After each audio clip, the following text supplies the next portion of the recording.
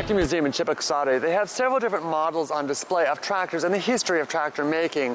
Famous brands such as John Deere, Caterpillar, and Case are also here on display. Uh, we're going to go to a factory and we're going to find out how these new models of tractors are made here. The development of Russian tractor manufacturing has hit a new level of moving forward, but also holding on to the past. This is a one of a kind museum in Russia where wheeled, tracked, industrial, and skidded tractors are on display, and you can get acquainted with the entire history of tractors from the very first models in the world up to the newest innovations.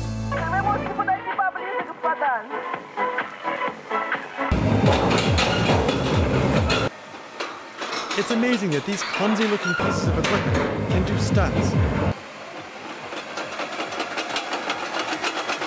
Sergei Yegorov, with his huge blade, works with the exactness of a surgeon armed with a scalpel.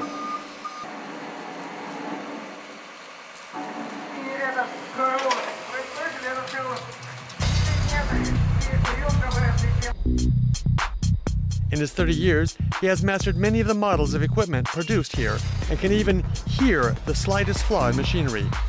Sergei was later asked to join the company's presentation group, where he turned the demonstration of the capabilities of tractors into a real show. It's much more difficult to do tricks on a tractor than assemble one. You get kind of used to the tricks and do them almost automatically, but there are some small nuances, and some of the tricks are easy where others need more practice.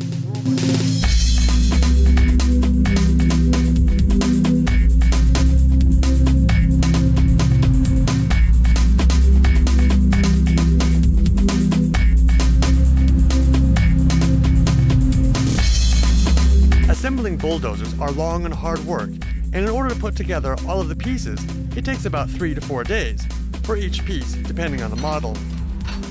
For example, Sergei is now preparing a bulldozer that was ordered by and will be sent to North Africa, to Algiers.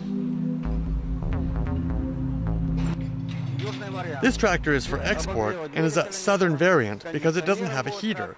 It has an air conditioner. So far we've assembled the engine and the chassis. Then we'll move on to the hood, the sides, and the cabin. Then we'll add the wheels and tracks. After that, we move on to fueling it, checking the transmission and hydraulics, and the bulldozer's done.